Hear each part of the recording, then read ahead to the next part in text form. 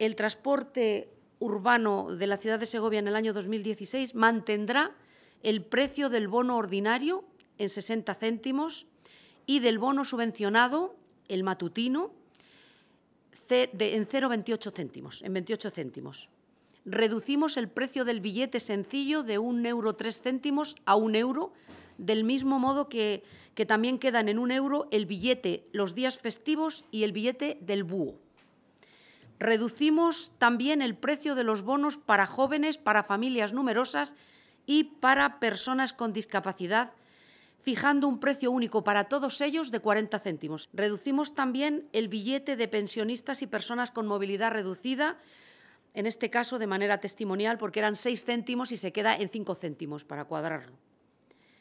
Y compensamos parcialmente estas reducciones con la subida del billete en las líneas 11 y 12 a la estación del AVE. Estos billetes costarán a partir del próximo año 2 euros.